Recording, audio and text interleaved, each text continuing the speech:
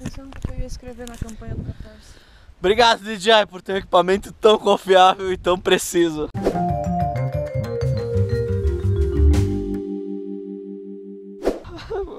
Graças ao próprio GPS, a galera pergunta sempre no canal também como é que a gente iria achar se perdesse.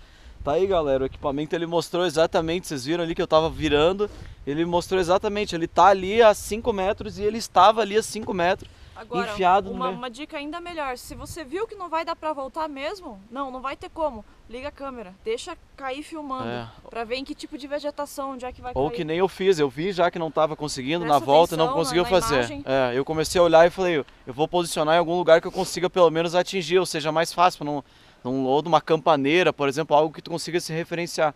E eu me referenciei, portanto que eu estava falando para vocês, a tal da estrada de Olha concreto. aqui, gente, se tivesse caído pra esse lado, a gente jamais, mesmo que visse, dificilmente ia conseguir pegar. Aqui é um, nossa, uma ladeira pra baixo. E quando a gente estava voando, eu voei, eu falei para vocês, eu voei e joguei ele para cá, eu joguei para cima da estrada, porque eu sei que também seria mais fácil subir. aqui, ó. Ele falou, é um asfalto, é uma rua de Eu asfalto. tava falando pra todo mundo, a gente vinha encontrando as pessoas, vocês viram rua de asfalto por aqui? Todo mundo, não, só tem terra, só tem terra. Graças a Deus, galera. Ai, vamos voltar. A Maria Eugênia tá virada no, no... Nossa. Olha aqui, galera, a quantidade de... Cheio de mato no meu rabo. Eu tô feliz com o mato do rabo. Ai, guri. Ai, que aventura, hein, gato? Histórias, tristezas e muita diversão. Nossa, agora, Ó, eu- com toda a certeza do perrengue. mundo... Peraí, deixa eu limpar a telinha aqui que tá feia a coisa. Não, ele tá com esse negócio o que é. Ah, sujeira, ó, já limpou. Galera, com toda a certeza do mundo foi o lugar mais incrível, a noite mais incrível, o amanhecer mais incrível E a aventura e a mais maior incrível. adrenalina, o maior cagaço, a maior a situação mais. ah, sei lá, mais complicada também pra gente, porque é, realmente era preocupante. Se a gente tivesse realmente perdido a águia, a gente nem sabia ainda como é que ia resolver a situação. Mas enfim, vamos voltar pra Maria Eugênia que tá abandonada na frente do portão da entrada proibida lá. Vamos lá. Vamos lá, galera. A gente voltou aqui agora na represa e tem gente aqui agora. Vamos conversar com o pessoal lá. Tomara que seja tudo bem. O senhor viu o papelzinho então ali? Oh, meu senhor, muito obrigado. Mil desculpas, viu? Mil desculpas mesmo por a gente ter feito isso. A gente não é de fazer isso. Muito prazer, eu sou o Não. Otaviano. Vamos lá, Vanessa. Minha esposa, Vanessa. O problema é que aqui é proibido porque é uma usina elétrica, É, então. sabe? Então a gente tem medo de que aconteça alguma coisa aqui. E aí vocês E a gente é responsabilizam. Claro, claro, não, tá Sabe? certo. Então o problema é esse. Não, mas mil desculpas mesmo. a gente Não, também não fez nada lá, que nem diz. A A gente gente foi Não, lá. chegou lá e até chorou lá quando encontrou o equipamento. foi você ser contado. Obrigado mesmo, viu? Mas de qualquer maneira que a gente diz, a gente acabou invadindo, né? Mas é que a Não, gente é- precisava. Não, eu até vi vocês passar lá ontem. Ah, você viu? Viu A ontem à gente tarde. dormiu no Mirante. A gente tava dormiu lá no Mirante. A gente, Eu co- tava nossa, lá no- na entrada lá, tava, eu tava lá, vi que vocês foram até o outro e o outro e voltaram. é, Foram então. até a portaria e Ah, tá. O senhor tava, ah, o senhor tava ali na, na esquina ali? Isso, eu tava. É, Eu então. tava entrando pra cá, sai do asfalto e vem pra cá. Eu moro ali, tem uma casinha ali, né? Nossa, que legal. Passamos Então, um apuro aí, mas é. encontramos nossa Mas Graças a Deus. Eu, eu vou te pedir só mais uma coisinha. Se- Será que o senhor não consegue só abrir o portão? Porque ali a gente não consegue dar a volta. Não. Posso? Ah, obrigado então. E aí vocês falam pra gente de pessoas ruins e que a gente ia encontrando pelo caminho. É só um acúmulo dessas pessoas, ó, pessoas boas, que quando entendem que a gente está bem intencionado, aconteceu algum problema, nos recebem de coração aberto, sem problema nenhum. Obrigado, povo brasileiro. Obrigado por vocês serem assim tão receptivos. Eu, rapaziada, a gente tá voltando já aqui, tá? Voltando com calminha. A estradinha é ruim, a gente É. desceu meio que rolando assim. Quando a gente chegar lá, a gente vai parar no mesmo lugar que a gente tava e tal. E aí a gente conversa mais um pouco. Aqui, bem fechadinho essa curva. Tranquilo.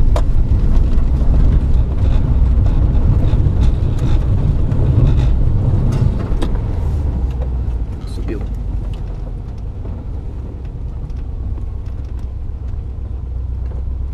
Pode ir aí ou não? hein? Pode ir mais. Acho que já tá bom. já.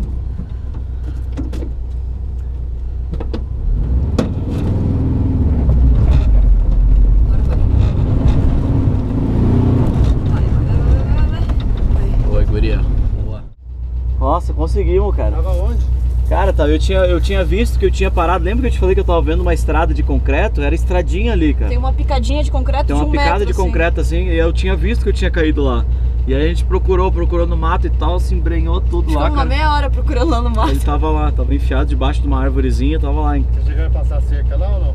Passamos, a gente pulou daí a cerca, Deixamos um um bilhete lá pra eles. Mas encontrou pra ele, explicou pra ele agora. Ele Não, é, mas a gente deixou um bilhete também no portão pedindo desculpa pelo fato que a gente tava pulando e tal, mas aí que a gente. Que o problema nosso era o controle. Você viu que a gente tava com o controle na mão, ele ia acabar a bateria. Se ele acaba a bateria, não. Aí ia ficar quase possível. Aí não É achava. porque daí aquele controle lá ele me mostra exatamente onde é que eu tô em relação a onde é que ele tá. E ele vai. Ele, é como se fosse um GPS, assim, até ele. Tem que entrar aqui que ali atrás é a casa, não cabe É a nada. casa. Tinha a moto ali de cima ali. Você come e sobe, ó, tá apanhando um pouquinho. Tem que bater forte. Próximo companheiro de viagem, A parte pior já passou, né? É. Olha que interessante, ele, ele já tinha. Vocês viram ali quando a gente conversou com o carinha da represa, ele já tinha avisado o cara da, da represa que a gente estaria lá e tal, que tinha dado problema, Ele viu o toda a carro preto descendo, ele veio pra ver se os caras não iam tipo, achar o equipamento antes da gente levar embora. Tipo, o cara ficou cuidando É. pra gente da situação. E aí agora ele voltou aqui com a gente, porque ele, ele desceu ali a pé, ele foi a pé atrás da gente, tipo, ele conheceu uma trilhazinha pelo meio do mato, tipo, pra ficar de olho na gente, olha só. Valeu também. Não, mas aqui é tranquilo. Que gente boa. Graças a Deus, né? Graças se num momento desse a gente encontra uma pessoa às Gente, vezes não muito flexível, aí já dificulta aí. A gente, tá- enfim. a gente tava olhando lá, a gente ficou olhando pra ver se não era o carro da polícia, por exemplo, dentro da represa. Sabe aquele negócio assim, o cara já chamou a polícia, não sei o que, e pronto. Aí vocês aí já imaginam o problema que o vem do mundo afora vai, vai encontrar. Baixinha, você não arrumou a casa? Eu vou te dar na cara. Olha o jeito que a Baixinha deixou a nossa casa, gente. Ah, não. Se isso é casa de viajantes de volta ao mundo. Nossa, tá Olha isso. destruído. Tá destruído e tá tudo fora do lugar. Mas o mais importante é que a gente conseguiu recuperar o. É, é isso aí, rapaziada. Dá uma A olhada. gente voltou à cena do crime. É, olha lá como é que tá. Ainda continua maravilhoso, tá lindíssimo por aqui. Não, e olha que sorte que a gente deu ontem, né? Ontem tava aberto isso aqui. É, a gente chegou aqui, tava lindíssimo, tava super aberto, hoje tá tudo. Mata de algodão. A gente tava querendo voltar de novo com a águia lá na cena. Enquanto É. a gente arruma o carro, vamos ver se abre aqui, porque assim não adianta nem ir, né? Não, não vai abrir, mas eu vou fazer ali uma análise agora do próximo vídeo que vocês vão ver, vai ser a análise da queda. Que todo mundo acompanha o nosso, nosso trabalho, gosta muito do Águia também, gosta muito das imagens que a gente faz. E como a gente vem aprendendo bastante, a gente vem ganhando uma experiência muito grande, principalmente eu que estou voando direto.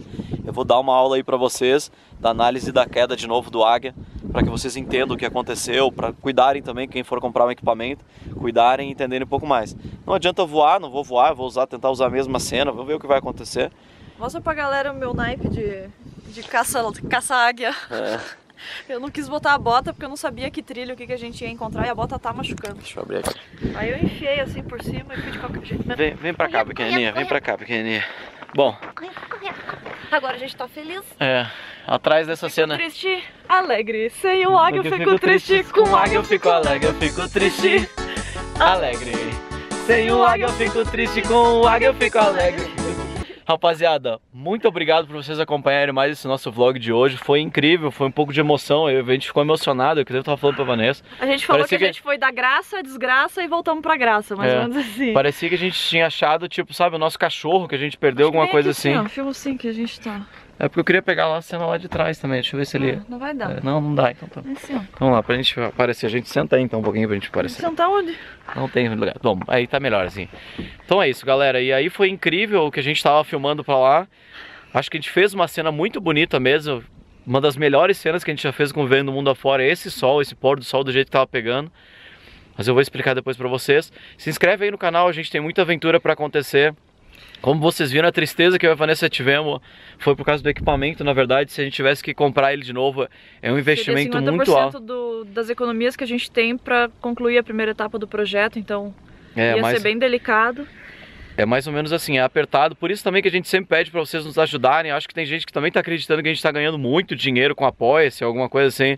Tá entrando um pouquinho só, gente, não tá entrando milagre nenhum. A gente não tá conseguindo ainda pagar as contas, nem 50% do nosso custo mensal a gente tá conseguindo pagar, por exemplo. Então se vocês puderem nos ajudar pra gente continuar mesmo essa novelinha, não parar nunca. Vai lá, www.apoia.c barra Vivendo Mundo Afora. É o primeiro link da descrição. E o segundo link é a lojinha para vocês comprarem Vivendo Mundo Afora e carregarem no coração aí. E essa é, é fácil, é www.vivendomundafora.com.br É isso aí, nos ajudarem nessa aventura. Gente, muito obrigado, se inscrevam no canal, acompanhem essa volta ao mundo mais louca. Joinha. A gente está vivendo uma aventura a cada dia. Eu espero que vocês tenham gostado dessa aventura. Foi uma Ai. aventura emocionante, foi uma loucura. Bora pra análise do Águia no próximo vlog. Um abraço, galera. Um abraço não, né? Que Vivendo abraço. mundo afora! Vai! Nossa, rapaziada, não foi só a parte da van ali não, olha aqui. A parte da, da elétrica também caiu tudo, tudo.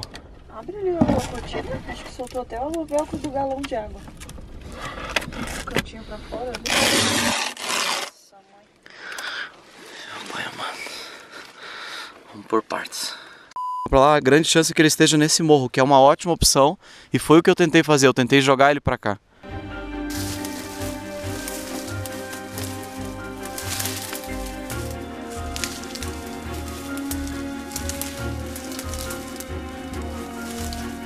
Achei! Achei! Tá lá, galera. Achei o águia.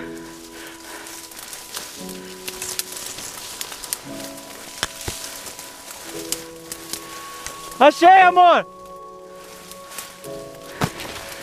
Ele tá inteiro!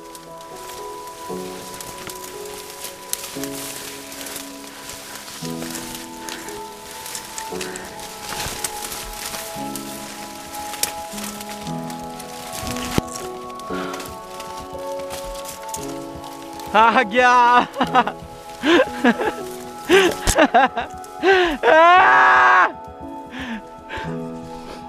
Achamos, galera!